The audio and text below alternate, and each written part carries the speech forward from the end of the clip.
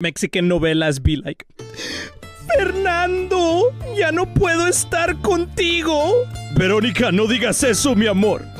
¿Por qué? Es que yo soy un cangrejo y tú eres un pulpo. Verónica, dame el último beso, mami. ¡Mua! Verónica. Verónica. Verónica.